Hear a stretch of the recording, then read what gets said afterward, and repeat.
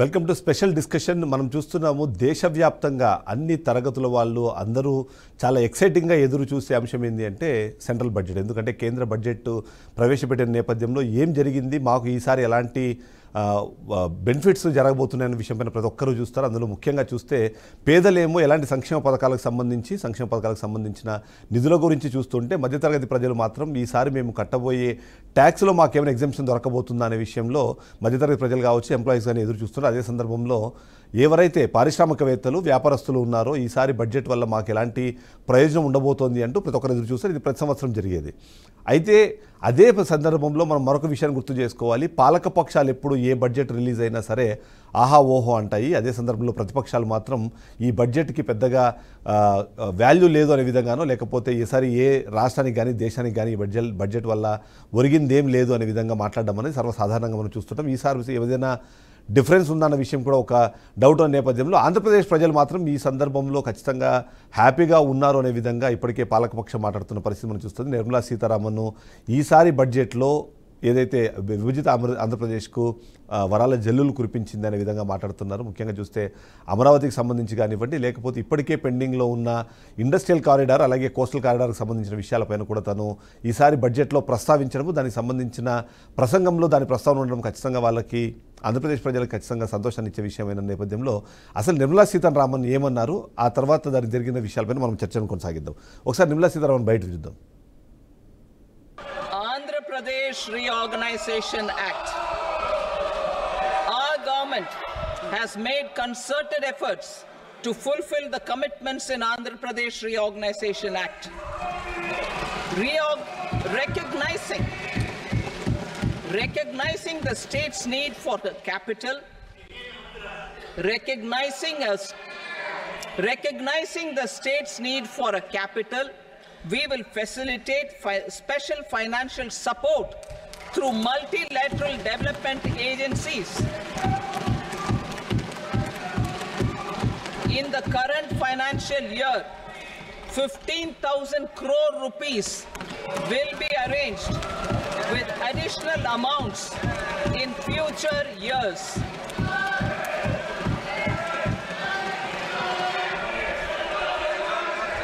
Our government is fully committed to financing and early completion of the Ponavaram irrigation project, which is the lifeline, which is the lifeline for Andhra Pradesh and its farmers. This will facilitate our country's food security as well. Under the Act, Andhra Pradesh Reorganization Act, for promoting industrial development, funds will be provided for essential infrastructure such as water, power, railways, and roads. In Koparthi node on the Vishakhapatnam Chennai Industrial Corridor and Varavakal node on the Hyderabad Bangalore Industrial Corridor. An additional allocation will be provided this year towards capital investment. Andhra Pradesh రాష్ట్రానికి సంబంధించి రాజధాని ఎంత important అనే విషయాన్ని మేము గుర్తించామనే విషయం చెబుతూనే ప్రత్యేక ఆర్థిక తోడ్పాటు అందించేందుకు కేంద్ర ప్రభుత్వం ముందు ఉంది ముందుకు వస్తోంది అనే విషయంపైన తను చెప్పడం మనము చూస్తున్నాం. ఈ విషయంపైన మనం ఇవాళ చర్చలు చేపట్టాము. మనతో పాటు చర్చలు ఇప్పటికే జాయిన్ అయ్యారు కృ- కృష్ణాంజనేయులు గారు సీనియర్ జర్నలిస్ట్ అలాగే అనలిస్టు మనతో పాటు శ్రీనివాస్ చౌదరి గారు టీడీపీ నాయకులు కూడా మనతో పాటు జాయిన్ అయ్యారు. మొదట శ్రీనివాస్ చౌదరి గారి దగ్గరికి వెళ్తాను నేను. శ్రీనివాస్ చౌదరి గారు మీరు హ్యాపీగా ఉన్నారా? బడ్జెట్లో ఏదైతే ఇప్పుడు ప్రసంగంలో మనకి వినిపించిన మాటలు కానివ్వండి ముఖ్యంగా అమరావతి రెండోది పోలవరం మూడోది కోస్టల్ కారిడార్ అలాగే ఈ ఇండస్ట్రియల్ కారిడార్ సంబంధించిన డిస్కషన్స్. దీంతో హ్యాపీగా ఉన్నారా మీరు? ఇంకేమైనా ఎక్స్పెక్ట్ చేశారా? ఇంకా మీకు మన బీఆర్కే న్యూస్ పాఠకులకి గారికి ఈరోజు పదేళ్ళ తర్వాత ఆంధ్ర రాష్ట్ర ప్రజల కళ నెరవేరిందని అనుకుంటున్నాను. ఇక్కడ ఎన్డీఏ గవర్నమెంట్ అక్కడ ఎన్డీఏ గవర్నమెంట్ వల్ల కావాల్సిన నిధులు సమకూర్చుకోవడంలో మా ఆంధ్ర రాష్ట్ర ఎన్డీఏ కూటమి బీజేపీ జనసేన తెలుగుదేశం పార్టీ నాయకులు సఫలీకృతం అయ్యారని మేము ఒక పక్క ఐదేళ్ళ పరిపాలన ఆర్థిక విధ్వంసం చూసాం నలభై ఆరు సార్లు తెక్కలోడు తిరణాలకు వెళ్ళి వచ్చాడనే కథగా ఒకే పాంప్లెట్ పది సార్లు ప్రదర్శిస్తూ వచ్చాడు. నలభై ఆరు సార్లు పోయిన నలభై ఆరు రూపాయలు తెచ్చుకోలేకపోయాడు. ఇచ్చిన నిధులన్నీ కూడా గోలుమాలయ్యాయి. అదేవిధంగా ఎన్ఆర్జీస్ ఫండ్స్ కూడా పక్కదారి బలిచ్చాడు. పోలవరం నిర్వీర్యం చేశాడు. అమరావతిని విధ్వంసం చేశాడు. ఈరోజు ఏ ఆకాంక్షల్ని నెరవేరుస్తారు? ఆంధ్ర రాష్ట్ర ప్రజల్ని అవకాశాలు ఎవరు సద్వినియోగం చేస్తారు? ఎవరు గెలిస్తే ఈ రాష్ట్ర స్వర్ణాంధ్రప్రదేశ్ అవుతుందనే దశలో దిశలో భాగంగా ఈరోజు మూడు పార్టీల కూటమి ప్రజలు ఎన్నో ఆశలతో బాధ్యత బాధ్యతమైన కర్తవ్యం మా మీద బతుకందాలపై పెట్టారు. అది దృష్టిలో పెట్టుకొని మా నాయకులు మా కార్యకర్తలు మా పార్టీ ప్రజలందరూ కూడా చిత్తశుద్ధితో సేవా దృక్పథంతో పనిచేయడం కోసం ఈ గెలుపుని ఆంధ్ర రాష్ట్ర ప్రజలకు అంకితం చేశారు. రైట్ అందులో భాగంగానే రాష్ట్ర ప్రజల ఆకాంక్షల నెరవేరలో భాగంగా పోలవరానికి ఇతోధికంగా పన్నెండు వేల కోట్ల రూపాయలు నిన్ననే ఆమోదం తెలియజేశారు. ఈరోజు అమరావతికి పదహైదు వేల కోట్లు కేటాయించడం దీంతో పాటు ఏదైతే మనం కోరుకుంటున్నాం మన ప్రత్యేక విభజన చట్టంలో ఉన్న అంశాలన్నీ కూడా పూర్తిగా మేము టాప్ ప్రయారిటీ ఇస్తామని చెప్పడం. దీంతో పాటు విద్యా నైపుణ్య అభివృద్ధి కోసం వందల కోట్లు కేటాయించారు. అలాగే నీరు తాగునీరు సాగునీరు హైవే రోడ్లు రాష్ట్ర రోడ్లకి ఇతోధికంగా పండ్లు డబ్బులు రిలీజ్ చేస్తామని చెప్పడం.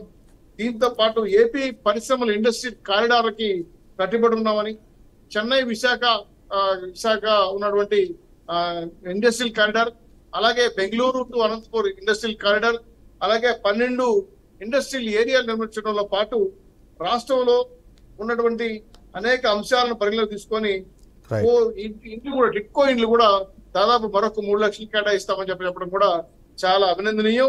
దీంతో పాటు రాష్ట్ర అభివృద్ధికి కట్టుబడి ఉండడం జీవనాడి ఉన్న పోలవరం నిర్మాణంలో ప్రత- ప్రత్యేక శ్రద్ధ తీసుకున్నామని చెప్పడం ఇవన్నీ చూస్తే రాష్ట్రానికి ఇప్పటికే అన్న బెంగళూరు అయితే ఇప్పుడు ఇప్పటివరకు వచ్చిన ప్రకటనతో మీరు హ్యాపీగా ఉన్నారనిపిస్తుంది ఒక. నిమిషం ఇన్నర్. రింగ్ రోడ్ రావడం ఇంచుమించు దాదాపు ఇప్పటికే వేల కోట్ల రూపాయలు అనఫిషియల్గా ప్రకటించిన కార్యరూపం దాల్చిన ఈ రోజు బడ్జెట్లో అఫిషియల్ ప్రకటించడం అనేది ఒక రకంగా ఆంధ్ర రాష్ట్ర ప్రజల విజయం ఎన్డీఏ. కూటమి యొక్క విజయంగా భావిస్తూ దీని ద్వారా ఎన్డీఏ కూటమి ద్వారా నరేంద్ర మోడీ గారికి బీజేపీ నాయకులకి రాష్ట్ర బీజేపీ నాయకులకి అలాగే తెలుగుదేశం జనసేన మిత్రులందరూ కూడా అభినందన తెలియజేస్తూ కోటేశ్వరరావు గారు కోటేశ్వరరావు గారు మనతో పాటు లైవ్లో జాయిన్ అయ్యారు. ఒకసారి కృష్ణాంజలి దగ్గరికి వెళ్దాం. ఎలా చూస్తున్నారు మీరు బడ్జెట్ నిజంగానే హ్యాపీగా అనిపిస్తుందా? అంటే ఖచ్చితంగా అంటే అమరావతికి సంబంధించిన కృష్ణాంజనేయులు గారు. దీనికి సంబంధించి మెన్షన్ ఉంది కానీ పదిహేను వేల కోట్లు ఇప్పటికి ఏదైతే ప్రత్యేకంగా ఆర్థిక తోడ్పాటులాగా మాట్లాడడం కానివ్వండి ఇతరత్ర ఫ్యూచర్లో అవసరమైన ఫినాన్షియల్ నీడ్స్ కూడా మేము ఫుల్ఫిల్ చేస్తామనే విధంగా మాట్లాడడం. ఓవరాల్గా బడ్జెట్ని ఎలా చూస్తారు మీరు? స్పెసిఫిక్గా అయితే ఆంధ్రప్రదేశ్ రాష్ట్రానికి సంబంధించిన కేటాయింపులు ఆ ప్రస్తావన. వాటి రెండింటిని ఎలా చూస్తారు? నమస్తే అండి. ప్యానల్ మెంబర్స్ అందరికి కూడా నమస్కారం.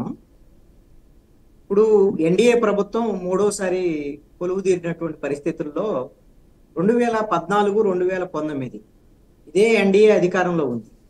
కానీ ఆ రోజున ఎన్డీఏ మిత్రులుగా ఉన్నటువంటి వాళ్ళను కూడా పట్టించుకోకుండా ఎలా వ్యవహరించారు ఏమిటి అనేటువంటి విషయాన్ని గమనించాం. ఇప్పుడు మొట్టమొదటిసారి కేంద్రంలో బీజేపీ ప్రభుత్వం ఎన్డీఏ ప్రభుత్వము బీజేపీకి బలం తగ్గినటువంటి పరిస్థితిలో అసలైనటువంటి సంకీర్ణ ప్రభుత్వంగా అనివార్యంగా తన మిత్రుల కోసం అందుకనే ఈ బడ్జెట్లో ఆంధ్రప్రదేశ్ బీహార్ అంటూ పదే పదే పలు సందర్భాలలో నిర్మలా సీతారామన్ మాట్లాడినటువంటి మాటలు చాలా స్పష్టంగా అర్థమవుతున్నాయి. మిత్రుడికి ఖచ్చితంగా అలాంటి గౌరవం ఇవ్వాలి అనేటువంటిది వాళ్ళు అనివార్యంగా అర్థం చేసుకోవాల్సినటువంటి పరిస్థితి. ఇప్పుడు లేడి కాళ్ళు లేక కాదు కాలం వచ్చి చిక్కింది అన్నట్టుగా నరేంద్ర మోడీ ఈ మూడవ దఫ ప్రధానమంత్రి కావటానికి ప్రధానంగా ఆంధ్రప్రదేశ్లో ఉండేటువంటి తెలుగుదేశము జనసేన ఆ ఇక్కడ ఎన్డీఏ ప్రభుత్వం ఆంధ్రప్రదేశ్లో ఉండేటువంటి ఇరవై ఒక్క మంది ఎంపీలు చాలా కీలకం. బీహార్లో ఉన్నటువంటి జేడీయూ కూడా. ఇక ఆంధ్రప్రదేశ్ విషయానికి వచ్చేసరికల్లా ఇదే నరేంద్ర మోడీ ప్రధానమంత్రిగా ఉన్నాడు. పదేళ్ళు విభజన హామీలు కానీ విభజన చట్టం అమలు విషయంలో ఎంత నిర్లక్ష్యంగా వహించారు ఆంధ్రప్రదేశ్ పట్ల కక్షపూరిత వహించారు అనేటువంటిది హండ్రెడ్ పర్సెంట్ అందరికీ తెలిసినటువంటి విషయం. అయితే ఇప్పుడు బడ్జెట్లో ఇప్పుడు ప్రకటించినటువంటి కొన్ని తాయిలాలు కానివ్వండి ఒక స్పష్టమైనటువంటి ఆ, అమరావతి పోలవరానికి సంబంధించినటువంటి ప్రకటనలు కానివ్వండి ఇది ఖచ్చితంగా ఆంధ్రప్రదేశ్ ప్రజలు సంతోషించాల్సినటువంటి విషయం. ఎందుకు సంతోషించాలి అని అంటే అసలు ఏమి లేకుండా పదేళ్ళ పాటు వెయ్యి కళ్ళతో ఎదురు చూసినటువంటి ప్రజలకి కనీసం ఆంధ్రప్రదేశ్ ప్రస్తావన బడ్జెట్ పోలవరానికి సంబంధించి మేము కట్టుబడి ఉన్నామని చెప్పండి. అమరావతికి సంబంధించి కనీసము బహుళ ఆ, సంస్థల ద్వారాగా మేము పదిహేను వేల కోట్ల రూపాయలు నిధులు ఇస్తామని అన్నట్టు ఇవి ఖచ్చితంగా సంతోషించాల్సినటువంటి విషయాలే. అయితే దీంట్లో ఇంకా మనం సాధించాల్సినవి చాలా ఉండొచ్చు. అది వేరే విషయం. ఇక్కడ కీలకమైనటువంటి అంశం ఏంటంటే పోలవరం ప్రాజెక్టు పూర్తి చేయడానికి మేము కట్టుబడి ఉన్నామని చెప్పారు. ఓకే ఇది ఎప్పటి నుంచో చెప్తున్నటువంటి మాట. మీరు పూర్తి చేయాలంటే ఒక జాతీయ ప్రాజెక్టుగా దాన్ని పూర్తి చేయాలంటే పునరావాసానికి అవసరమైనటువంటి ముప్పై రెండు వేల కోట్ల రూపాయలు కేంద్ర ప్రభుత్వం భరించాలి. దానికి సంబంధించినటువంటి విధానపరమైనటువంటి ప్రకటన కేంద్ర ప్రభుత్వం నుంచి చేయాలి. అది లేకుండా ఈ రోజున మేము పోలవరం పూర్తి చేయడానికి కట్టుబడి ఉన్నాం త్వరితగతిన పూర్తి చేసిన ఎట్లా పూర్తి అయింది మీరు పునరావాస ప్యాకేజ్ ఇవ్వకుండా బ్యారేజ్ కట్టేసి గేట్లు పెట్టేస్తే జనాన్ని ముంచేస్తారా? పొలాలు ముంచేస్తారా? సాధ్యం కాదు కదా? అదే విధంగా అమరావతికి సంబంధించినటువంటి విషయంలో కూడా అమరావతి కట్టుబడి ఉన్నామనేటువంటి ప్రకటన మంచిదే. కాదనట్టు వాళ్ళ కానీ అమరావతి రాజధాని నిర్మాణానికి తలదన్నేటువంటి రాజధాని నిర్మాణానికి మేము డిస్కస్ చేద్దాం. ఎందుకంటే గతంలో మనం తెలుసు గుర్తుంది డిపిఆర్ దాదాపుగా యాభై నాలుగు వేల కోట్ల రూపాయలు రిక్వైర్మెంట్ ఉందని డిపిఆర్ ఇస్తే ఇప్పుడు పదిహేను వేల కోట్లకు సంబంధించిన ప్రస్తావన ఉంది. మిగిలిన దాన్ని ఎలా చేయాలి ఏం చేయాలి డిస్కషన్ కూడా మనం చేద్దాం. ఒకసారి కోటేశ్వరరావు గారిని ఒకసారి మనము లైవ్లో తీసుకుందాం. కోటేశ్వరరావు గారు ఓవరాల్గా చూసినప్పుడు బడ్జెట్ మీకు ఏమనిపించింది? ఎందుకంటే ఈసారి ఓటాన్ అకౌంట్ బడ్జెట్ ఉంటే ఫుల్ బడ్జెట్ అంటే కొత్తగా ప్రభుత్వం ఏర్పడిన తర్వాత త్రీ పాయింట్ ఓ ఎలా ఉండబోతుంది అన్న దాన్ని రిఫ్లెక్ట్ చేసేలాగా ఈ బడ్జెట్ ఉంటుంది అన్నది చాలామంది ఎక్స్పెక్ట్ చేశారు. ఇంతకుముందు కృష్ణాంజలి గారు చెప్పినట్టుగా సంకీర్ణ ప్రభుత్వము పూర్తి స్థాయిలో ఏమంటారు కాన్ఫిడెంట్ లేని ఒక ఈ సిచ్యువేషన్లో ఉన్నారు కాబట్టి ఖచ్చితంగా మిత్రులందరినీ సపోర్ట్ చేసుకుంటూ వెళ్ళాలి వాళ్ళందరి ప్రస్తావన తీసుకోవాలన్నది అయితే మనకు అనిపిస్తుంది. బట్ ఓవరాల్గా బడ్జెట్ మీరు ఎలా చూస్తారు? ఎలా ఉందంటారు? ఓవరాల్గా బడ్జెట్ అనేటువంటిది గత పది సంవత్సరాలుగా చేస్తున్నటువంటి బడ్జెట్ ప్రక్రియలో భాగంగానే చేశారు తప్ప ప్రత్యేకంగా విప్లవాత్మకమైనటువంటి మార్పులు ఏవి ఉన్నట్టుగా నాకైతే అనిపించలేదు గత బడ్జెట్లకి లేదా ఇప్పుడు కేటాయించినటువంటి వాటికి మొత్తం బడ్జెట్ పత్రాలని పూర్తిగా కంపేర్ చేసి స్టడీ చేసిన తర్వాత ఒక నిర్దిష్టమైనటువంటి అభిప్రాయం చెప్పొచ్చు కానీ. అంటే ఓవర్ బర్డ్స్ ఐ వ్యూ చూసినప్పుడు పెద్ద పెద్ద మార్పు ఏమీ లేదు గతంలో ఏడాదికి పద్నాలుగు పదహారు లక్షల కోట్ల రూపాయల కేంద్ర ప్రభుత్వం అప్పు చేస్తా ఉంది. ఇప్పుడు కూడా అదే విధమైనటువంటి అప్పులు చేసేటువంటి వ్యవహారమే కనిపిస్తా ఉంది అనేటువంటిది ఒకటైతే ఆంధ్రప్రదేశ్కు సంబంధించి మాత్రం కొన్ని అంశాలని నేను చెప్పదలుచుకున్నాను. అమరావతికి పదిహేను వేల కోట్లు అనేటువంటిది చంద్రబాబు నాయుడు గారు లేదా తెలుగుదేశం ప్రతినిధులు కానీ లేదా కూటమి ప్రతినిధులు కానీ చెప్తున్నట్టుగా కేంద్రం నుంచి వస్తున్నటువంటి సాయము లేదా గ్రాంటు కాదు. అవును. కేవలం అప్పులు ఇప్పించడానికి వివిధ సంస్థల నుంచి అప్పులు ఇప్పించడానికి కేంద్ర ప్రభుత్వం హామీగా ఉంటుంది అనేటువంటిదే దాని అర్థం. ఇప్పటికే వరల్డ్ బ్యాంక్ పదిహేను వేల కోట్లకు సంబంధించిన ఒక డిస్కషన్ జరుగుతుంది కాబట్టి మేబీ అదే. ఎందుకు అంటే ఆ అప్పుని ఆ అప్పుని ఇప్పించడానికి వివిధ సంస్థల నుంచి అప్పు ఇప్పించడానికి మేము హామీ ఉంటాం అప్పులు మీరే తీసుకోండి అప్పులు మీరే తీర్చుకోండి అనేది దానిలో ఉన్నటువంటి అర్థం. ఎందుకు అంటే రాష్ట్ర గతంలో ఐదు సంవత్సరాల పాటు పరిపాలన చేసినటువంటి జగన్మోహన్ రెడ్డి గారి పాలన నిర్వాహకం వలన ఎఫ్ఆర్బిఎం పరిధులకు కూడా దాటిపోయి కొత్తగా అప్పులు గుట్టేటువంటి పరిస్థితి ఇవాళ చంద్రబాబు నాయుడు గారికి లేదు అనేటువంటి ఒక వాస్తవం. దాని నుంచి ఒక రిలీఫ్ కల్పించడానికి కేంద్ర ప్రభుత్వం ఆ మేరకు తీసుకుంది. దానికే ఇదే ఏదో ఒక సాయం అన్నట్టుగా కనుక ఎవరైనా భావించేట్లయితే అది జనాన్ని తప్పుదారి పట్టించేట్టుగా ఉంటుంది. అప్పు అనేటువంటిది ఒకటి. ఇక పోలవరానికి సంబంధించి పోలవరం పూర్తి చేస్తాం పోలవరం పూర్తి చేసేది మీ ప్రాజెక్టే కదా.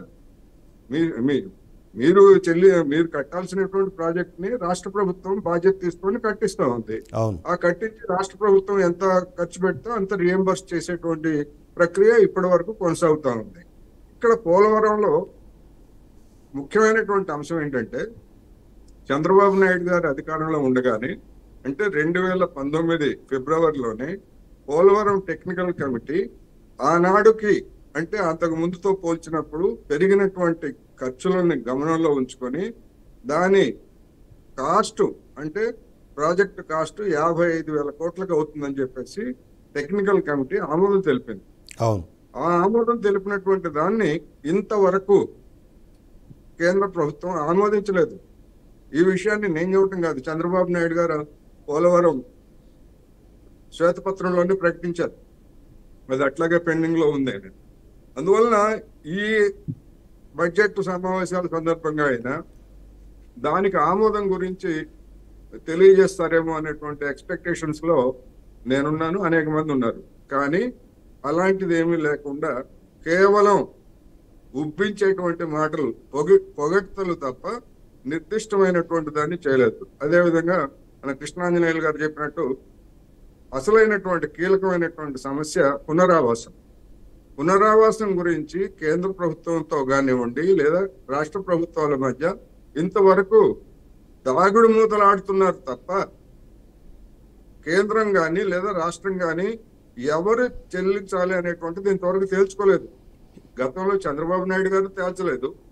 ఆ తర్వాత జగన్మోహన్ రెడ్డి గారు కూడా తేల్చలేదు. ఇప్పటికీ అది ఒకవైపు ఏమో కట్టేస్తున్నారు ప్రాజెక్ట్ కట్టేస్తున్నారు. ప్రాజెక్ట్ కట్టే కొద్దీ మనక సమస్య తీవ్రమవుతుంది. అందుకని దాని గురించి ఎలాంటి ప్రస్తావన ఈ బడ్జెట్లో లేదు. ఇక Visakha railway zone Visakha railway zone గురించి సారీ గతంలో ఏం చెప్పారు వీళ్ళు? అయితే అయితే ఒకసారి నేను విశాఖ విశాఖ రైల్వే జోన్కి వెళ్ళే ముందు ఒకసారి బికాస్ ఇంకా అమరావతి మీద మనం డిస్కస్ చేస్తున్నాం కాబట్టి ఇప్పటికే శ్రీనివాస్ చౌదరి గారు మనతో పాటు లైవ్లో ఉన్నారు. తను కూడా ఇంతకుముందు దాని మీద ఒక మాట మాట్లాడారు. శ్రీనివాస్ చౌదరి గారు ఇప్పుడు కూడా అమరావతి అన్నది ఖచ్చితంగా రాష్ట్రానికి ఒక తలమానికం అన్నది అందరూ మనం అనుకుంటున్నాము. దానికి సంబంధించి గతంలో జరిగిన డిస్కషన్లో కూడా మనం చాలా క్లియర్గా ఇది సెల్ఫ్ ఫైనాన్సింగ్ ప్రాజెక్ట్ లాగా అమరావతిని ముందు తీసుకెళ్ళాలన్నది మొదటగా మనం ఇన్వెస్ట్ చేయాల్సిన అవసరం ఉంటుంది కాబట్టి దానికోసం దాదాపుగా అంటే కేవలం అక్కడ మౌలిక సదుపాయాలు కల్పించడానికో లేకపోతే అక్కడ ఉన్న మిగిలినవన్నింటినీ మనం క్లియర్ చేసుకోవడం దాదాపు యాభై ఐదు వేల కోట్ల అవసరం ఉంటుందన్నది గతంలోనే చేసిన జరిగిన డిస్కషన్. ఇప్పుడు కేవలం పదిహేను వేల కోట్ల రూపాయలు అది కూడా సాయం కాదు కేవలం అప్పు తీసుకునేందుకు వెసులుబాటు కల్పించేలా ఆ తోడ్పాటు మాత్రమే ఇస్తాము అన్నది నిగూఢంగా అక్కడ ఉన్న అర్థం అన్నది చాలా క్లియర్గా అర్థమవుతుంది. ఆ సందర్భంలో రాష్ట్రానికి ఏం చేసినట్టు మీరు డబుల్ ఇంజన్ సర్కార్ వస్తే ఏదో జరిగిపోతుంది అన్నట్టుగా మీరు గతంలో మాట్లాడారు మళ్ళీ అలాంటిది ఏమీ ఆ రెస్పాన్స్ ఏం కనిపించట్లేదు అన్నది విశ్లేషకులు మాట్లాడుతున్నమాట. ఏమంటారు? చిదంబరం గారు చిదంబరం గారు. అమరావతి మనకు సంపద సృష్టించే నగరమే. కాకపోతే ఇక్కడ అప్పు ఇస్తున్నారా హామీ ఇస్తున్నారా కాదు. గతంలో పదేళ్ళుగా అసలు రూపాయి కూడా తెలిసలేదు కదా. గతం మేము గతం ముందు ఎన్డీఏ గవర్నమెంట్ ఉన్నప్పుడు కూడా ఏదో కొంత పోలవరానికి డబ్బులు ఇచ్చారు కొంత అమరావతి డబ్బులు ఇచ్చారు కాబట్టి ఆ డెబ్బై తొమ్మిది శాతం ఈ డెబ్బై శాతం పూర్తి చేయగలిగాం. ఇప్పుడు ఇతోధికంగా అంటే ఈ డబ్బులు పోలవరానికి ఇచ్చారా ఇంకో దానికి ఇచ్చారా కాకుండా గతంలో విజయవాడ విజయవాడ గుంటూరుకు సంబంధించిన కొన్ని ఫండ్స్ని అమరావతికి అక్కడికి ట్రా- అక్కడికి వస్తున్నాను అక్కడికి వస్తున్నాను Yes. ఇప్పుడు ఆర్ఆర్ ప్యాకేజీ ఖచ్చితంగా మా ఎన్డీఏ గవర్నమెంట్ జనాలను ఒప్పించి ప్రజలను ఒప్పించి కేంద్ర రాష్ట్ర సంబంధాలు బలపడటంతో పాటు మేము ఆర్ఆర్ ప్యాకేజ్ ఇవ్వడానికి సిద్ధపడుతున్నాం. ఎందుకంటే ఇప్పుడు వెనుకబడిన జిల్లా నిధులు దాదాపు ఎనిమిది జిల్లాలు కేటాయిస్తారండి. ఆ రాయలసీమలో ఒక నాలుగు ప్రకాశం జిల్లా ఉత్తరాంధ్రలో ఒక జిల్లాలు. దాదాపు సగం రాష్ట్రానికి నిధులు వాళ్ళు కేటాయిస్తారు. ఇంచుమించు ఇరవై మూడు వేల కోట్ల దాకా రావస్తుంది ఇది కాకుండా రోడ్లు భవనాలు ఆ వైవేలకు డబ్బులు కేటాయిస్తున్నాం. అదే కేంద్ర ప్రభుత్వం నుంచి కొన్ని అఫీషియల్గా బడ్జెట్లో పండించకపోయినా అన్అఫిషియల్గా చాలా రోడ్లకి నీళ్ళకి అదేవిధంగా టిట్కో ఇల్లు డబ్బులు కేటాయిస్తున్నారు విభజన అంశాలు పర్టికులర్గా విభజనలో ఏ అంశాలు అయితే ఉన్నాయో వాటికి పూర్తిగా టాప్ ప్రయారిటీ ఇస్తామన్నారు. సో మేము కేంద్ర ప్రభుత్వానికి ఈ అంశాలు అంశాలపైన పర్టికులర్గా మేము లిస్ట్ ఇస్తే ఖచ్చితంగా వారు నిధులు ఇచ్చే అవకాశం ఉంది కాబట్టి పూర్తి భరోసా కేంద్రం ఎన్డీఏ గవర్నమెంట్ ఇక్కడ గవర్నమెంట్ డబుల్ ఇంజిన్ సర్కారే కాబట్టి మేము వాళ్ళని మొప్పించి వెప్పించి తీసుకునేదానికి మేము అన్ని రకాల ఏర్పాట్లు చేస్తున్నాం. అమరావతి నిర్మాణం జరిగి తీరుతుంది. వెనుకబడిన జిల్లాలకు సంబంధించిన వెనుకబడిన జిల్లాలకు సంబంధించిన దాన్ని చూసినప్పుడు పోలవరం పరిధిలో పోలవరం పరిధిలో జిల్లాలు ఏవి రావట్లేదు. సో అలాంటప్పుడు మరి మీరు అక్కడి నుంచి వచ్చే మూడు వందల యాభై కోట్లో లేకపోతే సంవత్సరానికి వచ్చే డబ్బుల్ని మీరు ఇక్కడికి ట్రాన్స్ఫర్ చేస్తాను అన్నా ప్రశ్న అర్థం కాలేదు. కొంచెం గట్టిగా చెప్పండి. అయితే మీరు చెప్తున్నట్టుగా ఏదైతే వెనకబడిన జిల్లాలకు ఇచ్చే ప్యాకేజీలో నుంచి అమౌంట్ని మీరు ఇక్కడ ఫార్వర్డ్ చేయడానికో ట్రాన్స్ఫర్ చేయడానికో అది కాదు కదా. తీసుకొచ్చే డబ్బులు డైవర్ట్ చేసేది వెనకబడి జిల్లా డెవలప్ అయితే ఆర్థిక వెసులుబాటు పెరుగుతుంది కదా. అక్కడ జిల్లాలు అభివృద్ధి అయితే కదా. అంటే కొనుగోలు శక్తి పెరుగుతుంది కదా. అభివృద్ధి జరిగితే ఆ సంపద సృష్టించబడతారు కదా. నా ఉద్దేశం ఏంటంటే గత మూడేళ్ళకి రాలా. వెనుకబడి జిల్లా నిధులే రాలా ఇప్పుడు కనీసం దాన్ని ఒక ఆర్టికల్లో పెట్టి బడ్జెట్లో కేటాయించి మేము ఇస్తున్నాం అంటే గొప్ప విషయం కదా. దాదాపు రాష్ట్రానికి వాళ్ళు అభివృద్ధి కార్యక్రమాలు డబ్బులు ఎందుకంటే ఇక్కడ కాకుండా ఇక్కడ ఇంకో సమస్య ఉంటుంది. ఇక్కడ ఇంకో సమస్య ఉంటుంది. ఎందుకంటే మనం ఒక పాయింట్ చెప్పాలి. ఎందుకంటే ఎప్పుడైనా సరే బడ్జెట్లో ప్రస్తావన చేసేటప్పుడేమో బాగానే ఉంటుంది. తర్వాత నిధుల కేటాయింపులు చూసేటప్పటికి మనం గతంలో చూసాము అదే పోలవరంకి వంద కోట్లు కేటాయించిన సందర్భాలు కూడా మనం చూసాం రెండు వేల పద్నాలుగు పదిహేను ఆ సందర్భంలో కేవలం వంద కోట్లు అక్కడ అలొకేషన్ చిదంబరం గారు మంచి మాట ప్రస్తావించారు. బడ్జెట్లో కేటాయిస్తారు మన నిధులు ఇవ్వరండి మళ్ళీ దాన్ని కొరలేస్తారని. నిజమే. కానీ ఇక్కడ ఎన్డీఏ గవర్నమెంట్ కేంద్రంలో ఎన్డీఏ గవర్నమెంట్ ఉంది. ఇక్కడ అబద్ధాలు చెప్పేకి లేదు. మేము ఏదైతే నూట అరవై నాలుగు సీట్లు ఇచ్చారో అధికారం చెల్లించడం కోసం కాదు. ప్రజలకు సేవ చేయమని చెప్పి. అందుకే మేము ఏమంటామంటే ఇక్కడ బీజేపీ నాయకులు కానీ ఇక్కడ ఎన్డీఏ మా వామపక్షాల సారీ మా వామపక్షమైనటువంటి జనసేన పార్టీ కానీ టీడీపీ కానీ ఎంపీలు చాలా క్లియర్గా ఇచ్చేసాం. శాఖల వారీగా ఈ నిధులు మాకు రావాలని. దాంట్లో కేంద్ర ప్రభుత్వం కట్టుబడి ఉంది. ఇప్పుడు ఆల్మోస్ట్ ఆల్ మీరు చూడండి గతంలో ఎప్పుడు కానీ ఆంధ్రప్రదేశ్ ప్రస్థానం పార్లమెంట్ రాలేదు. ఇది పదే పదే ఆంధ్రప్రదేశ్ ఒడిశా మా బీహార్ చెప్పుకుంటున్నారు. కారణం ఏంటంటే ఇక్కడ ప్రయారిటీ ఇవ్వాలని విభజన అంశాలపైన పార్లమెంట్లోనే మోడీ గారు ఆంధ్ర రాష్ట్రాలకి అన్యాయం జరిగింది చెప్పి మాట్లాడిన వ్యక్తి ఆయన. కాబట్టి అటువంటి వ్యక్తికి అంశాల ముందే చెప్పాం. చెప్పిన తర్వాత వాళ్ళు గత జరిగిన గతంలో జరిగిన విధ్వంసం కన్నా ఇప్పుడు కన్స్ట్రక్షన్ చేసుకోవడం చాలా ముఖ్యం కాబట్టి ఈ రోజు అమరావతి కానీ పోలవరం కానీ కేంద్రం కేంద్రం కట్టాల్సిన పోలవరం. కానీ ఈ ప్రెషర్ ఏదో ఈ ప్రెషర్ పెంచి రెండు రెండు అంశాలపైన మీరు అంటే కీలకమైన ప్రకటనలో ముఖ్యంగా చూసుకుంటే మాత్రం ఏంటంటే స్పష్టత. ఒకటి ఇప్పుడు ఏదైతే ఆర్ఆర్ ప్యాకేజీకి సంబంధించిన ఇన్ఫర్మే దానికి సంబంధించి దాదాపుగా ఏడు ఎనిమిది సంవత్సరాల నుంచి అక్కడే పెండింగ్లో ఉంది. దాని మీద స్పష్టత ఇప్పించుంటే బాగుండేది అన్నది ఒక పాయింట్. రెండోది ఏదైతే విభజన అంశాలకు సంబంధించి చూసినప్పుడు ఏంటంటే విభజన చట్టము మనం పది సంవత్సరాలు దా- దాటిపోయిన తర్వాత ఇప్పుడు దానికి ఉండే శాంటిటీ ఏంటి దాని గురించి మనం మాట్లాడే క్రమంలో మనకు వచ్చేది ఏంటి ప్రత్యేక ప్యాకేజీకి సంబంధించి కూడా గతంలో మనకి అంటే గతంలో ఇండియాలో మీరు ప్రభుత్వంలో ఉన్నప్పుడు అప్పుడు ఇచ్చిన ఒక హామీ ఉంది. వీటన్నిటిపైన స్పష్టత ఇప్పించుంటే బాగుండేది అన్నది సామాన్య ప్రజల నుంచి ఒక వచ్చే ఒక ఆశ. గతంలో పక్క రాష్ట్రాలతో ఆర్ఆర్ ప్యాకేజీలో కొన్ని ఇబ్బందులు ఉండేవి ముంపుదారి గ్రామాలు కొన్ని ఉన్నాయి. ఛత్తీస్గఢ్ కానీ ఒరిస్సా కానీ పక్క రాష్ట్రాలు. ఆ గ్రామాలకు మనం ఖచ్చితంగా మనం నష్టపరిహారం కట్టి- కట్టించాలి. కొన్ని కొన్ని మన ఖమ్మం జిల్లా అంటే తెలంగాణలో కొన్ని కలిపారు. వీటన్ని కూడా టోటల్గా ఆంధ్ర రాష్ట్రం రేపు కూర్చొని పోలవరం అథారిటీ బార్డుతో డిస్కస్ చేసి నూటికి నూరు రూపాయలు ఆర్ఆర్ ప్యాకేజ్ ఎవరు ఎక్స్పైర్ ఎవరెవరు ఉన్నారో అది కేంద్ర రాష్ట్ర ప్రభుత్వాలు ఎంత భరిస్తారు పైన ఖచ్చితంగా మన జలశక్తి మంత్రి కూర్చొని వాళ్ళకి నిధులు ఇచ్చే ఖచ్చితంగా చేసి తీరుతాం. చేసి పోలవరం పూర్తి చేస్తాం. ఇక్కడ. నష్టం కాబట్టి అది మన ఆంధ్ర రాష్ట్రానికి జీవనాడిగా పోలవరాన్ని అభివృద్ధి చేయాలి ఉద్దేశంతో చేస్తున్న? బహుత్తర కార్యక్రమం. ఆ కార్యక్రమానికి ప్రజలకు నష్టం చేసే ప్రసక్తి లేదు. అయితే మీరు గ్రీన్ ట్రిబ్యునల్ కేసులు ఉన్నాయి. అదేవిధంగా పక్క రాష్ట్రాలు మన మీద కోర్టులో కేసులు వేస్తున్నాయి. ఇవన్నీ కూడా ఇతోధికంగా పక్క రాష్ట్ర ముఖ్యమంత్రితో మాట్లాడుకొని ఆర్ఆర్ ప్యాకేజ్ అమలు చేయడం కోసం మేము కట్టుబడి ఉన్నాం. వాళ్ళు సాయం చేసి తీరుతాం. పోలవరం పూర్తి. చేస్తాం. కృష్ణాంజనేయులు గారు. ఈ స్పష్టత అన్న దాని మీదనే చాలా మందికి ఎస్ ఎస్ ఇక్కడ చిదంబరం గారు మేము ఆర్ఆర్ ప్యాకేజీ తెస్తామంటే ఒక అర్థం ఉండదు కానీ మేము ఇస్తామనండి. మీ మీరు ఇస్తానికి ఓకే. కేంద్రం ప్రకటించాలి. ఇది ఒక విధానపరమైనటువంటి ప్రకటన. వాళ్ళు మేము ఇవ్వమని చెప్పున్నారు ఇప్పటి వరకు ఉన్నటువంటి సమాచారం ఏంటంటే ఇవ్వమన్నది. మేము ఇవ్వబోము. ఆ పునరావాస ప్యాకేజీ మాకు సంబంధం లేదు అనేటువంటి చెప్పున్నారు ఆ ప- ఆ ప్రకటన కేంద్రం నుంచి రావాలి. మేము కాదంటలేదు ఇక్కడ ఎన్డీఏ ఉంది అక్కడ ఎన్డీఏ ఉంది. మంచి సానుకూలమైనటువంటి వాతావరణం ఈ బడ్జెట్లో కనపడింది. భవిష్యత్తులో అయినా దాన్ని ఒకసారి గుర్తు చేస్తున్నాం ఈ ప్రభుత్వాన్ని. కీలకమైనటువంటిది మీరు గమనించండి అమరావతికి సంబంధించినటువంటి అంశం అండి. మనము పదే పదే అమరావతి మీద చర్చించాలి. ఎందుకంటే అసలు ఉందే రెండు అంశాలండి. మిగతా అన్ని విభజన హామీల సంగతి పక్కన పెడతాం. పోలవరం అమరావతి. ఈ రెండిట్లో అమరావతి కీలకమైనటువంటిది కూడా కదా.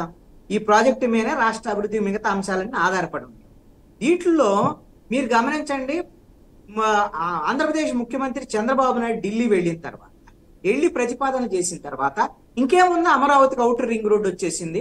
ఆ రింగ్ రోడ్డుకు అవసరమైనటువంటి భూములను కూడా కేంద్ర ప్రభుత్వమే సేకరిస్తుంది. మొత్తం ఖర్చు అంతా కేంద్ర ప్రభుత్వమే భరిస్తుంది. ఇవన్నీ కూడా ఇప్పుడు ఈ మధ్యలో అసలు మీడియాలోకి చూస్తే అన్ని కథనాలు వండి వచ్చారు. ఓకే కాదనటం. కానీ ఆ అవుటర్ రింగ్ రోడ్డు సంగతి ఏది? బడ్జెట్లో?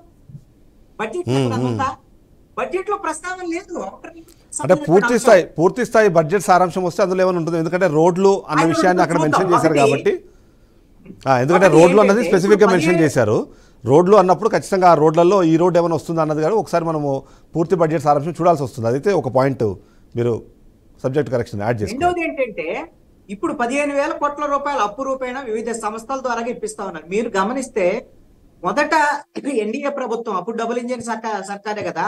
రెండు వేల పద్నాలుగు నుంచి పద్దెనిమిది వరకు ఆంధ్రప్రదేశ్లో పంతొమ్మిది లాస్ట్ ఇయర్ లాంటి విడిపోయారు. అది వేరే విషయం. అప్పుడు కూడా కేంద్ర ప్రభుత్వం ఇదే తరహా విధానాన్ని అవలంబించిందండి అమరావతి విషయంలో. మీరు అమరావతికి కేంద్ర ప్రభుత్వం నుంచి వచ్చింది పదిహేను వందల కోట్లే. మిగతా తొమ్మిది వేల ఎనిమిది వందల కోట్లతో అప్పుడు ఆంధ్రప్రదేశ్లో ఉండేటువంటి తెలుగుదేశం ప్రభుత్వం అమరావతిలో పనులు చేసి అది. మిగతా పదిహేను వందల పోను ఆ వచ్చినటువంటి ఏడు వేల మూడు వందల కోట్లు ఇవన్నీ ఎక్కడి నుంచి తీసుకొచ్చారు అని అంటే అవి అన్ని కూడా నాబార్డు ఇతర సంస్థల ద్వారా కేంద్ర ప్రభుత్వ సహకారంతో అప్పులు తెచ్చారు ఇక్కడ ఒక అంశం ఏంటంటే విభజన చట్టాన్ని మేము ఖచ్చితంగా అమలు చేస్తామని నిర్మలా సీతారామన్ చెప్పారు అని అంటే అర్థం ఏమిటి అని అంటే రాజధాని అమరావతికి అవసరమైనటువంటి పరిపాలనా భవనాల నిర్మాణం. మీరు అన్నారు డిపిఆర్కు సంబంధించి. నలభై ఎనిమిది వేల కోట్ల రూపాయలు కేంద్ర ప్రభుత్వం విభజన చట్టం ద్వారాగా హక్కుగా ఎస్ ఇది కేంద్ర ప్రభుత్వం యొక్క బాధ్యత. ఇప్పుడు ఆ బాధ్యతను విస్మరించి దాన్ని మభ్యపెట్టి ఏసి మీకు అప్పిప్పిస్తాం మీకు అప్పిప్పిస్తారు ఓకే. ఆ భారం అంతా మనం ఆంధ్రప్రదేశ్ మొయ్యాల్సిందే కదా. కనీసం అవి- ఆ గతంలో అవి కూడా లేవు. అసలు అమరావతికి దిక్కు లేదు. కనీసం ఇప్పుడన్నా ఏదో ఒకటి అప్పు ఒప్పు ఇప్పిస్తున్నారు అని అనుకుందాం. కనీసము పరిపాలనా భవనాలు అదే విధంగా ఇన్ఫ్రాస్ట్రక్చర్ సంబంధించినటువంటి విషయంలో భవిష్యత్తులో అయినా సరే ఔటర్ రింగ్ రోడ్డు మిగతా అంశాలు ఇవన్నిటిని కేంద్ర ప్రభుత్వం నుంచి మీ డబుల్ ఇంజిన్ సర్కారు తీసుకొస్తుందని మరి ఆస్తో ఉన్నటువంటి పరిస్థితి ఉంది. దాన్ని కాన్ఫిడెంట్గా మొట్టమొదటి ఇప్పుడు మొదలు పెట్టారు బడ్జెట్లో మొదలు పెట్టారు కాబట్టి దాన్ని కొనసాగించేటువంటి విషయంలో కొంచెం- ఇప్పుడు బీహార్లో ఉన్నటువంటి జేడీ వాళ్ళు అడిగినట్టుగా మీరే డిమాండ్ చేయొద్దు పోట్లాడొద్దు. ఆ రోజు నల్ల చొక్కాలు వేసుకొని ధర్మ పోరాట దీక్షలు చేశారు. అలా చేయమని అడగట్లేదు. రిక్వెస్ట్ ఎస్ ఎలా కలిసే అవకాశం ప్రయత్నం రిక్వెస్ట్ చేసుకుని తప్పలేదు ఎస్ అయితే ఇక్కడ ఒక ఒక షార్ట్ బ్రేక్ తీసుకుందాం. బ్రేక్ తర్వాత ఎందుకంటే ఆంధ్రప్రదేశ్ రాష్ట్రానికి సంబంధించిన కొన్ని విషయాలు ఉంటాయి అంతేకాకుండా దేశవ్యాప్తంగా కూడా ఎన్నో రకాల ఆకాంక్షలు ఇవాళ ప్రజలందరూ నెరవేరుతాయని ఎక్స్పెక్ట్ చేసిన వేళ ఏం జరిగిందన్న విషయంపై కూడా మనం చర్చిద్దాం. Welcome back to the special debate మనం చూస్తున్నాము. మొత్తానికైతే మాత్రం ఆంధ్రప్రదేశ్ రాష్ట్ర ప్రజలకు అది కొద్దిగా ఆనందం కలిగించే విషయమైనా సరే ప్రస్తావన మాత్రమే ఉంది. దాంట్లో క్లారిటీ లేదు అన్నది ఇప్పటికే ప్రతిపక్షాల నుంచి వినిపిస్తున్నమాట అందులో ముఖ్యంగా చూస్తే మాత్రం డబుల్ ఇంజిన్ సర్కార్ వచ్చిన తర్వాత రాష్ట్రానికి నిధుల విషయంలో మరింత స్వాతంత్రం లభిస్తుంది అనుకున్నారు బట్ అటువైపుగా వెళ్తుందా లేదా అన్న అనుమానం అయితే ఇప్పటికే వ్యక్తమవుతున్న నేపథ్యంలో కోటేశ్వరరావు గారు. ఇప్పుడు మీరు అన్నట్టుగా మీరు అన్నట్టుగా బడ్జెట్ పత్రాలని లేదా కేటాయింపుల్ని పూర్తిగా దాని డీటెయిల్స్లోకి వెళ్తే కొన్ని అంశాలు మనకి స్పష్టం అవుతాయి కానీ మన చౌదరి గారు చెప్తున్నట్టుగా అనఫిషియల్గా కొన్ని చెప్పారు అనఫిషియల్గా కొన్ని ప్రకటించారు. అనేటువంటిది దానికి బడ్జెట్ ప్రకటించిన తర్వాత ఆ విధంగా చెప్పేటువంటి అంశాలకి విశ్వసనీయత ఏమిటనేటువంటి ప్రశ్న వస్తుంది. అన్అఫిషియల్గా చెప్పేటువంటి వాటిని బడ్జెట్లో అఫీషియల్ గానే ఎందుకు ప్రకటించలేదు ఇప్పుడు అనేది ఒకటి. అందుకనే నా అభిప్రాయం ఏంటంటే ఇప్పుడు ఎంపీలతోటి చంద్రబాబు నాయుడు గారు రాష్ట్రానికి సంబంధించినటువంటి అంశాల గురించి లేదా రాష్ట్రానికి రావాల్సినటువంటి అంశాల గురించి ఆయన స్పష్టంగా చెప్పారు. లేదా ఆయన కేంద్రానికి స్వయంగా ఆయనే నివేదించినటువంటి అంశాలు ఉన్నాయి అందుకని అంటే ఈ బడ్జెట్ ప్రవేశపెట్టడానికి ముందు గడిచినటువంటి నెల పదిహేను రోజుల్లో కేంద్రాన్ని నిర్దిష్టంగా కోరినటువంటి అంశాలు ఏమిటి? ఈ బడ్జెట్లో దానికి సంబంధించి వచ్చినటువంటి రిజల్ట్ ఏమిటి అనేటువంటిది ఆ రెండింటిని పోలుస్తూ ఒక శ్వేతపత్రం ప్రకటిస్తారా? లేకపోతే అసెంబ్లీలో ఒక స్పష్టమైనటువంటి ప్రకటన చేస్తారా? ఎట్లా చేస్తారనేటువంటిది ప్రభుత్వానికే వదిలేద్దాం. కానీ పారదర్శకతకి లేదా చెప్తున్నటువంటి దానికి లేదా కల్పించినటువంటి భ్రమలకి వాస్తవానికి ఉన్నటువంటి వివరాలని వెల్లడించాల్సినటువంటి అవసరం ఉందనేది నా అభిప్రాయం. ఇది తెలుగుదేశం యొక్క మంచి కోరుకునే వ్యక్తిగానే నేను చెప్తున్నా. మంచి కోరుకోవడం అంటే ప్రభుత్వం. ఇది ఎందుకు అంటే రెండు వేల పద్నాలుగు నుంచి పంతొమ్మిది మధ్యలో బీజేపీ తోటి వ్యవహారం చెడేంత వరకు. కేంద్ర ప్రభుత్వం చేసినటువంటి అన్యాయాలు కానీ లేదా రాష్ట్రానికి రావాల్సినటువంటి వాటిని గురించి చంద్రబాబు నాయుడు గారు తెలుగుదేశం పెద్దలు కూడా దాన్ని దాచిపెట్టారు. దాచిపెట్టిన తర్వాత మూసి పెడితే పాసిపోతుంది అనేటువంటి సామెత అందరికీ తెలిసిందే. ఆ తర్వాత బీజేపీ తోటి సంబంధాలు తేడిన తర్వాత చంద్రబాబు నాయుడు గారు ఎన్నికలకు వెళ్ళబోయే ముందు ఒక్కోటి ఒక్కోటి బయటపెడుతూ వచ్చారు. ఈ అన్యాయాలు జరిగినాయని చెప్పేసి అప్పుడు చెప్పారు. అందువల్ల ఇప్పుడు గత అనుభవాన్ని చూసిన తర్వాత గత అనుభవాన్ని చూసిన తర్వాత ఇప్పుడు కేంద్రం నుంచి మనం ఏం కోరాము? మనకి ఏం వచ్చింది ఈ బడ్జెట్లో ఏం వచ్చింది లేదా ఈ బడ్జెట్లో వచ్చిన తర్వాత మనం ఇంకా ఏం కోరుతున్నాం అనేటువంటిది రాష్ట్ర ప్రజలతోటి పంచుకోవాల్సినటువంటి బాధ్యత మూడు పార్టీల కూటమి మీద ఉన్నది. అలా కాకుండా వేరే విధంగా భావించి అవన్నీ కూడా మళ్ళా దాచిపెట్టేటువంటి వ్యవహారం కనుక చేసేట్లయితే రెండు వేల పంతొమ్మిదిలో వచ్చినటువంటి ఫలితాలే మళ్ళా రెండు వేల ఇరవై తొమ్మిదిలో కూడా తెలుగుదేశం పార్టీకి. వస్తాయనేది ఈ సందర్భంగా నేను స్పష్టంగా చెప్పదలుచుకున్నాను ఎస్ అందుకని కల్పించినటువంటి ఆశలు చాలా పెద్ద ఎత్తున ఉన్నాయి. కానీ అక్కడ అటు నుంచి స్పందన లేని కారణంగానే రెండు నెలల పాటు పూర్తి బడ్జెట్ను ప్రవేశపెట్టకుండా కూటమి ప్రభుత్వం వాయిదా వేసిందనేటువంటిది కూడా గమనించాలి. బడ్జెట్లో ఈ విధమైనటువంటి పొగడ్తలు ఏమీ లేకపోవటాలు ఉంటాయని చంద్రబాబు నాయుడు గారికి ముందే తెలుసు. తెలుసు గనుకనే ఆయన బడ్జెట్ను కూడా వాయిదా వేశారు. అందుకని ఇప్పటికైనా ఈ బడ్జెట్ సమావేశాల సందర్భంగా గానీ లేదా బడ్జెట్ పత్రాల వివరాలు వచ్చిన తర్వాత సమావేశాలు ముగిసిన తర్వాత గానీ మనం కోరింది ఏమిటి మనకు వచ్చింది ఏమిటి అనేటువంటిది సామాన్య చెప్పాలి అదే- సందర్భంలో విశాఖ విశాఖ రైల్వే జోన్కు సంబంధించి ఎస్ మీరు ఇంతకుముందు మెన్షన్ చేస్తున్నారు. విశాఖ రైల్వే జోన్కు సంబంధించి. ఎందుకంటే జగన్మోహన్ రెడ్డి ప్రభుత్వం దాన్ని సాధించడంలో విఫలమైంది లేదా అది సాధించేందుకు అవసరమైన అవకాశాలన్నింటినీ అది చేజార్చుకుంది జారవిడిచింది అన్నది మనకు చాలా క్లియర్గా అర్థమవుతుంది. ఆ సందర్భంలో ఇప్పుడైనా దానికి సంబంధించిన ఒక స్పష్టమైన ప్రకటన వస్తుంది అన్నది అయితే చాలామంది ఎక్స్పెక్ట్ చేశారు. బట్ అది లేకుండా కేవలం రైలు అనే ఒక దాంతో ఒక పదంతో దాన్ని క్లోజ్ చేయడం వల్ల ఏం జరగబోతుందన్న ఒక ప్రశ్న అయితే చాలా మందిలో ఉంది. ఎలా చూడాలంటారు? అదేనండి. ఇప్పుడు చిదంబరం చిదంబరం గారు నేను చెప్తుంది అదే. గతంలో గడిచినటువంటి ఐదు మొదటి ఐదు సంవత్సరాల్లో సరే దాని మీద చంద్రబాబు నాయుడు గారు కేంద్ర ప్రభుత్వం ఎలాంటి నిర్ణయం తీసుకోలేదు. రెండో ఐదు సంవత్సరాలు ఎన్నికలకు ముందు కేంద్ర ప్రభుత్వం ప్రకటించింది. కానీ గడిచినటువంటి ఐదు సంవత్సరాల్లో ఏమి జరగలేదు. ఏమి చెప్పారు? మేము కోరినటువంటి చోట్ల లేదా అవసరమైనటువంటి తగినటువంటి భూమి ఇవ్వని కారణంగానే అది నిర్మాణం కాలేదని పార్లమెంట్లో చెప్పారు. ఆ భూమి ఇవ్వడానికి చంద్రబాబు నాయుడు గారికి పెద్ద సమస్య కాదు. ఎందుకని? ఆల్రెడీ వైసీపీ ప్రభుత్వం కొన్ని చోట్ల భూములు కేటాయించింది. ఆ భూములు పనికిరాను అని చెప్పేసి రైల్వే శాఖ చెప్పింది. అది పోను మిగిలినటువంటి భూములు ఇవ్వడానికి లేదా దానికి సంబంధించి నిర్ణయం తీసుకోవడానికి ఎన్ని రోజులు కావాలండి? విశాఖలో రైల్వే జోన్కి భూములు ఇవ్వడానికి? ఎందుకని తెలుగుదేశం ప్రభుత్వం అమలు జరపలేదు అనేటువంటి ఒకటైతే దాని గురించి మరి కేంద్ర ప్రభుత్వం ఇవాళ ఎందుకని ప్రకటించలేదు పార్లమెంట్లో అయితే ఒకసారి ఎస్ దీని మీద అంటే ఇప్పుడు మన రాష్ట్రానికి సంబంధించిన విషయంతో పాటు విశాఖ రైల్వే జోన్ని విశాఖ రైల్వే జోన్ని ఒరిస్సాలో ఉన్నటువంటి బీజేపీ అంగీకరించడం లేదు. అందుకనే ఏదో ఒక సాగుతోటి దాన్ని వాయిదా వేస్తున్నారనేటువంటి అభిప్రాయాలు నేను గతంలో వ్యక్తం. చేశాను. నాతో పాటు అనేక మంది కూడా చెప్పారు. అందుకని ఇప్పటికైనా గానీ దాని గురించి ఒక స్పష్టత ఇవ్వాల్సినటువంటి అవసరం ఉన్నదనేది ఈ సందర్భంగా yes. చెప్పదలుచుకున్నాను ఎస్ కృష్ణాంజనేయులు గారు ఇప్పుడు అంటే ఓవరాల్ బడ్జెట్ గురించి ఆలోచిస్తే ఖచ్చితంగా వ్యవసాయ రంగానికి సంబంధించిన ప్రస్తావన కానివ్వండి లేకపోతే అటువైపుగా తీసుకుంటున్న చర్యలు అవి మాత్రం చాలా అంటే ఆశాజనకంగా అనిపిస్తున్నాయి ముఖ్యంగా చూస్తే స్టార్టప్స్ని ఆ వ్యవసాయ రంగానికి కనెక్టెడ్గా ఉన్న బిజినెసెస్ని ప్రోత్సహించడం కోసం ఏదైతే తీసుకున్న నిర్ణయాలు ఉన్నాయో ఆ నిర్ణయాలన్నింటినీ ఖచ్చితంగా ఆహ్వానించాల్సిన పరిస్థితుల్లో ముఖ్యంగా చూస్తే వ్యవసాయ ఆధారిత రాష్ట్రాల్లో ఆంధ్రప్రదేశ్ రాష్ట్రం కూడా ఉంది కాబట్టి సో ఆ చర్యలు కానివ్వండి లేకపోతే ఆ వైపుగా వెళ్తున్న కేంద్ర ప్రభుత్వ ఆలోచనలు ఎలాంటి పరిణామాలని వస్తాయంటారు? ఎలాంటి ఫలితాలు వచ్చే అవకాశం ఉందంటారు?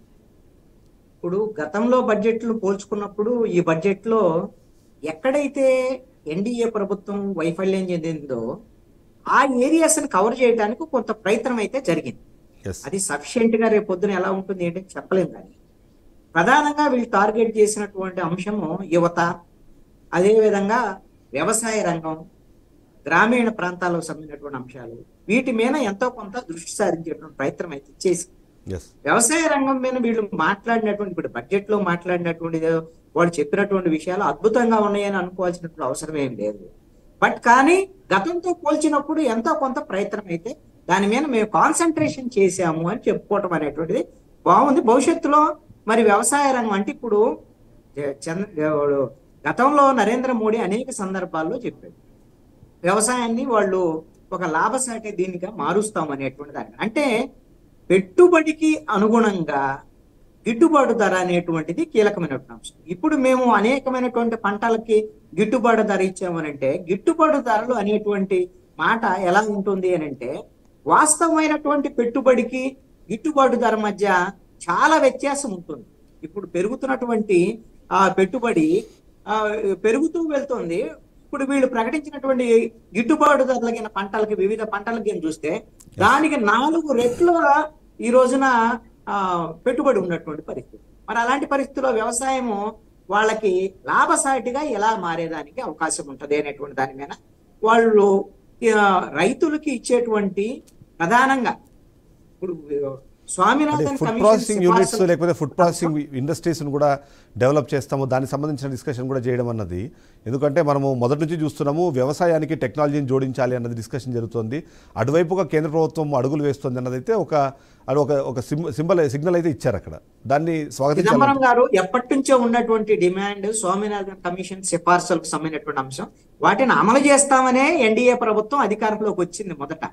వాటిని అమలు చేయకుండా రైతులకు నష్టపరిచేటువంటి రైతు చట్టాలు తీసుకొచ్చి వాళ్ళ నుంచి తిరస్కరణ గురైన తర్వాత ఆ చట్టాలను రద్దు చేసుకున్న తర్వాత ఆ ఆ వర్గాల నుంచి ఈ రోజున వ్యతిరేకత వస్తున్నటువంటి నేపథ్యంలో మేము రైతుల కోసము ఈ విధమైనటువంటి ఏదో మేము ప్రయోగాలు లేదా స్టార్టప్స్ ఇలాంటివన్నీ టెక్నాలజీ ఈ మాటలు వినటానికి బాగుంటాయండి. ప్రాక్టికాలిటీలో రైతుకు ఉపయోగపడేటువంటి విధంగా ఏం చేయగలుగుతున్నారు వీళ్ళు పదేళ్ళలో ఏం చేశారనే దాని మీద అంచనా ఉంటుంది అది. కదా ఇప్పుడు చెప్పేటువంటి మాటల్ని వీళ్ళు. పదేళ్ళలో దాన్ని ఇంప్లిమెంట్ చేయకుండా ఇప్పుడు కొత్తగా ఇవి చెప్పే మాటలు ఎంత మేరకు రైతు వారికి ఉపయోగపడేటువంటి విధంగా రైతులకు ఉపయోగపడేటువంటి విధంగా అనేది yes. స్వామినాథన్ కమిషన్ సిఫార్సుల అమలుకి వీళ్ళకు వచ్చినటువంటి అభ్యంతరం ఏంటి దానికి సంబంధించినటువంటి విషయంలో ఎందుకు ప్రభుత్వం ముందుకు రావటం లేదు ఖచ్చితంగా చెప్పాల్సి ఉంటుంది. శ్రీనివాస్ చౌదరి గారు ఇప్పుడు ఎంఎస్ఎంఏలకు సంబంధించి ఎందుకంటే ఆంధ్ర రాష్ట్రానికి సంబంధించి చూసినా కానీ సరే దేశవ్యాప్తంగా చూసినా సరే కరోనా సమయం తర్వాత ఎంఎస్ఎంఏలకు సంబంధించిన డిస్కషన్ బాగా జరుగుతూ వచ్చింది. వాటికి ఆర్థిక తోడ్పాటు కానివ్వండి వాళ్ళకి సంబంధించిన అంటే వాళ్ళు డెవలప్ అవడానికి అవసరమైన తోడ్పాటు ఏదైతే ఉందో అది కేంద్ర ప్రభుత్వం నుంచి మరింత పెంచినట్టుగా మనకు కనిపిస్తుంది ఈ బడ్జెట్లో ఎలా చూడాలంటారు? అది రాష్ట్రానికి కానివ్వండి దేశానికి కానివ్వండి ఎలాంటి హెల్ప్ అయ్యే అవకాశం ఉందంటారు? మీ వాయిస్ రావట్లేదు ఒక్కసారి మ్యూట్ చూసుకోరా? శ్రీనివాస్ చౌదరి గారు. ఎంఎస్ఎంఎల్ సంబంధించి గతంలో కొలటరల్ సంబంధించి జామీను అలాగే షరతులు ఉండే లోన్ ఇచ్చేది. ఇవన్నీ తీసేసి ఇతో తిప్పిగా లోన్లు ఇవ్వడం అనేది ఇండస్ట్రీ డెవలప్మెంట్కి ఉపాధి అవకాశాలకు ఉపయోగపడుతుంది. ఇది కాకుండా ఫిషరీ రొయ్యలకు సంబంధించిన ఫీడ్ ఐదు పర్సెంట్ ట్యాక్స్గా తగ్గించడం ఎలక్ట్రికల్ అండ్ ఎలక్ట్రానిక్ వస్తువులపై ఫిఫ్టీ పర్సెంట్ తగ్గించడం ఇది కాకుండా మెడికల్ ఉత్పత్తులు మరియు క్యాన్సర్ వ్యాధులకు సంబంధించిన మందులు. దాదాపు ఎక్సైజ్ డ్యూటీ తీసేయటం సిక్స్ పర్సెంట్ పై తీసేయటం. అలాగే విద్యా నైపుణ్యం పైన అంటే గతంలో స్కిల్ డెవలప్మెంట్ పైన తెలుగుదేశం పార్టీ జేపీలో చేసిన ప్రయత్నం చాలా మంది ఉపాధి అవకాశం కల్పించింది. దాని మీద అయితే నలభై ఎనిమిది వేల కోట్ల రూపాయలు దేశవ్యాప్తంగా ఖర్చు పెట్టడం ఇది ఒక మంచి పని. యువత మీద అంటే నిరుద్యోగ సమస్య పరిష్కారానికి పెద్ద ఉపయోగపడుతుంది. అలాగే ఇండస్ట్రియల్ పార్కులు పన్నెండు నిర్వర్తిస్తున్నారు. దీనివల్ల ఇండస్ట్రీ డెవలప్ అవుతుంది దీనివల్ల ఉద్యోగ అవకాశం కల్పిస్తారు. అలాగే ఫుడ్ క్వాలిటీ ఫుడ్ క్వాలిటీ ల్యాబ్లు ఒక హండ్రెడ్ పర్సెంట్. గతంలో ఫుడ్ వల్ల చాలా నష్టపోయారు. చాలా మంది ఇబ్బంది పడ్డారు అనేక రకాల సమస్యలు వచ్చాయి. దానికోసం ఇది చాలా మంచి పరిణామం ఫుడ్ క్వాలిటీస్ అండి. కలుషిత వాతావరణం తిని చాలా మంది చనిపోయారు. అవన్నిటి కూడా చాలా ఉపయోగపడతాయి. అలాగే పట్టణాభివృద్ధికి సంబంధించిన పది లక్షల కోట్లు అంటే ఇళ్ళ నిర్మాణం కోసం చేస్తున్న పేదవాళ్ళకి చేస్తున్న ప్రయత్నం అనేది మంచి పరిణామం. దీంతో పాటు ఇంధనం అలాగే పట్టణాభివృద్ధితో పాటు ఒక కోటి రూపాయలు ఒక కోటి ఇళ్ళకి మూడు వందల యూనిట్లు విద్యుత్ ఫ్రీ అంట. కేంద్ర ప్రభుత్వం ప్రకటించింది. అంటే సోలార్ ద్వారా ఇస్తారా ఇంకో ద్వారా ఇస్తారా తెలియదు కానీ ఇవన్నీ కూడా జిఎస్టీ వెసులుబాటు సామాన్యుడికి అందుబాటులో ఉన్న ఇబ్బంది లేకుండా కొంత వెసులుబాటు చేసి జిఎస్టీ మినహాయించడం బంగారు వెండి పైన సిక్స్ పర్సెంట్ ట్యాక్స్ తగ్గించడం.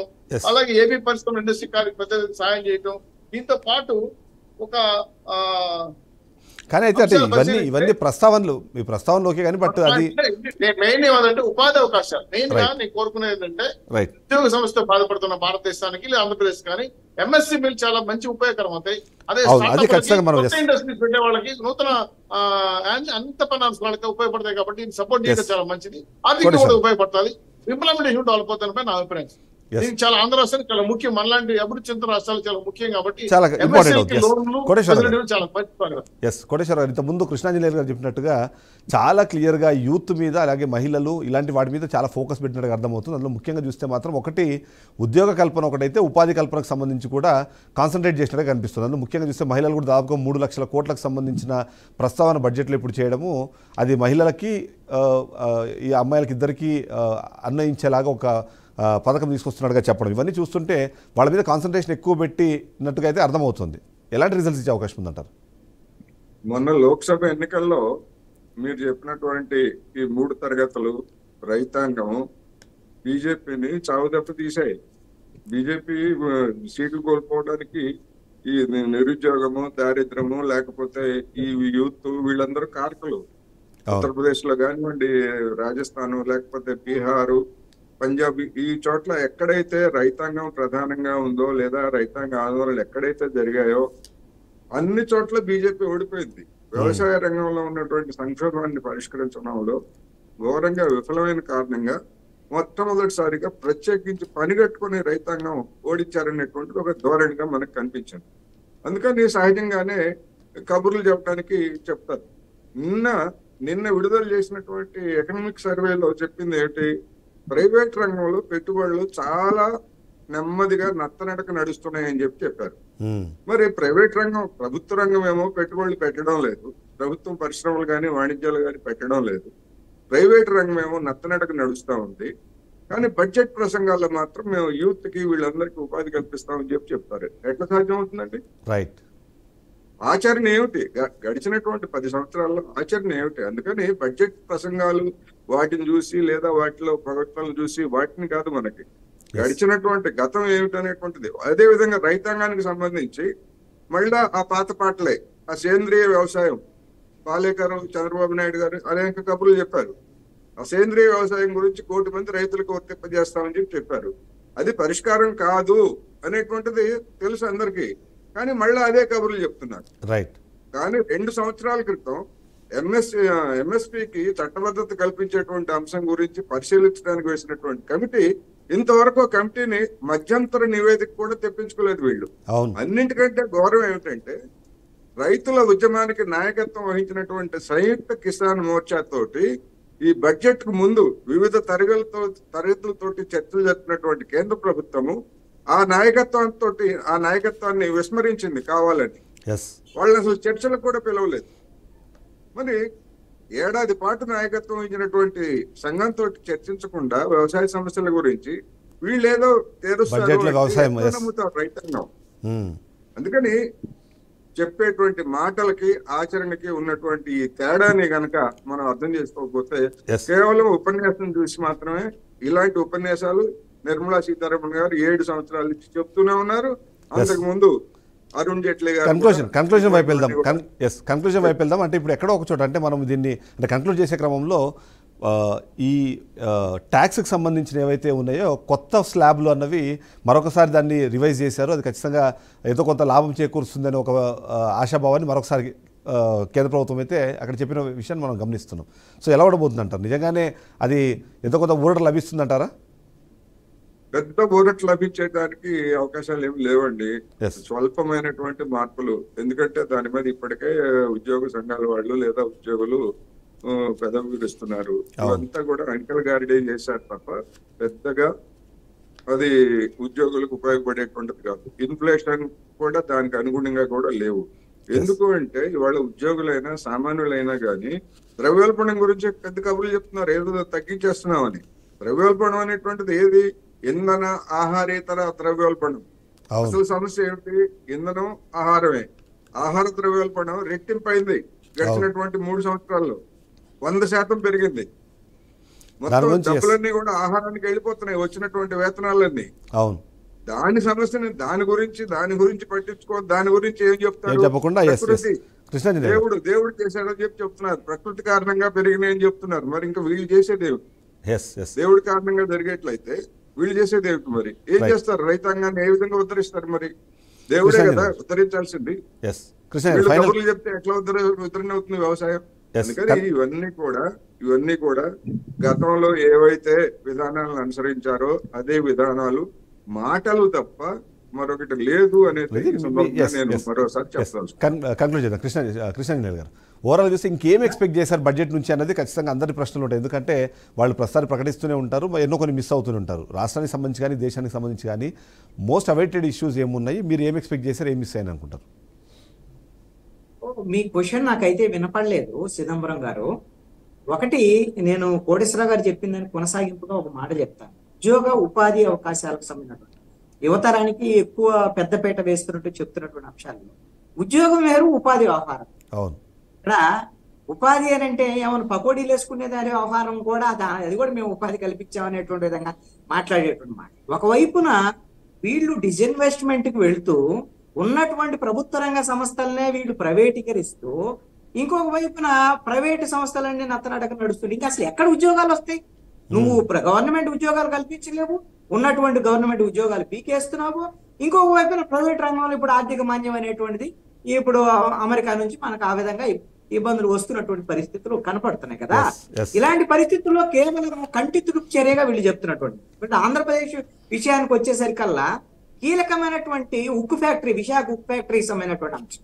అది మనం డిజిన్వెస్ట్మెంట్లో భాగమే కదా అది కూడా. ఇప్పుడు అది. మిగతా సంస్థలు వేరు. ఇది ఒక సెంటిమెంట్ ఒక ముప్పై రెండు మంది ఆత్మ బలిదానాలతో ఏర్పడింది దాని విషయంలో కూడా ఒక స్పష్టత ఇవ్వలేనటువంటి పరిస్థితి ఈ రోజున కేంద్ర ప్రభుత్వం నుంచి ఉంది అని అంటే అసలు వీళ్ళు ఇంకా ఏ విధమైనటువంటిది ఆ ఈ ఉద్యోగ ఉపాధి అవకాశాల మీద ఆ, శ్రద్ధ పెడుతున్నారు మనం అర్థం చేసుకోవాలి. లాస్ట్ పాయింట్ శ్రీనివాస్ చౌదరి గారు.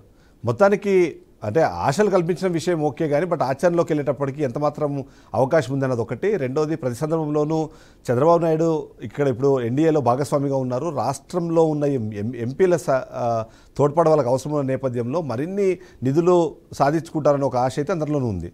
సో అది ఎలా అయ్యే అవకాశం ఉందంటారు? ప్లస్ రెండోది కోటేశ్వరరావు గారు చెప్పినట్టు ఇంతకుముందు ఏదైతే మీరు ఎక్స్పెక్ట్ చేశారో ఏది సాధించారో అన్న విషయం పైన ఒక శ్వేతపత్రమా లేకపోతే ఏదో ఒక డాక్యుమెంట్ అయితే రిలీజ్ చేయాల్సిన అవసరం ఉంది. దానిపైన ఏం జరగబోతుంది? దాని పాటు కంక్లూడ్ చేసేద్దాం. తప్పకుండా తప్పకుండా.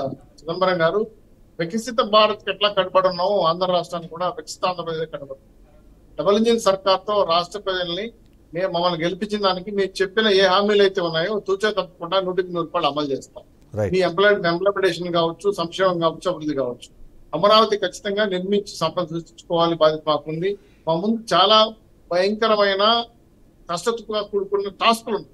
ఆ. కష్టాలను అధిగమించడం కోసం ఖచ్చితంగా ఆర్థిక లోటుపాట్లు ఎలా చక్కబెట్టుకోవడం కోసం చాలా మంది ఆర్థిక నిపుణుల సలహా తీసుకోవడంతో పాటు కేంద్ర ప్రభుత్వం నుంచి నయానా భయానా ఒప్పించి మన వాటాను పెంచుకొని మన జిఎస్టీ వాటాను కూడా పెంచుకొని రాష్ట్ర సంపదను పెంచుకొని అలాగే ఇండస్ట్రీస్ పాలసీని మార్చుకొని నూటికి నూరు పాళ్ళు ఎన్డీఏ సర్కారు ఖచ్చితంగా మా సహకరిస్తున్న నమ్మకం ఉంది. కాబట్టి రాష్ట్ర ప్రజల కళలు నెరవేర్చడం కోసం మూడు. పార్టీలు ఎన్డీఏ కట్టుకుని రాష్ట్ర అభివృద్ధి కోసం కష్టపడి.